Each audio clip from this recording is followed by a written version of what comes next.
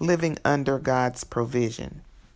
Whenever we move away from God, destruction comes upon us.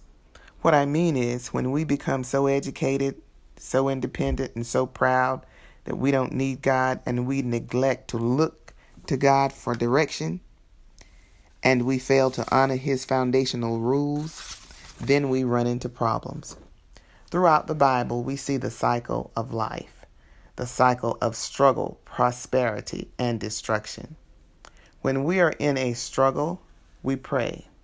And when we pray, God hears us and blesses us with prosperity. And then in prosperity is where most people seem to forget how they became prosperous.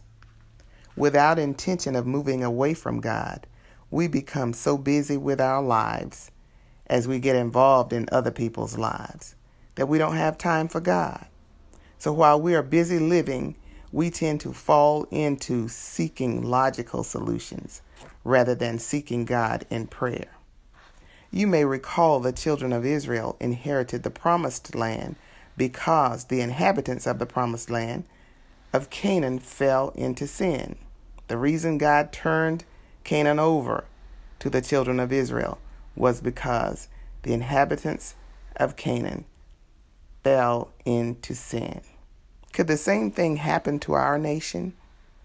I believe most of us want God to bless our country rather than give it as an inheritance to another nation.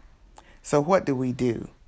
If we study the Word of God time after time, the people move from destruction when they repent of their sin and begin to pray. In 2 Chronicles 7 and 14, we find steps about what we should do. Follow it to the letter, and I believe we will see God move in our favor. In the next verse, 2 Chronicles 7 and 15 tells us God is listening for our prayers. Will you pray? 2 Chronicles 7 and 14.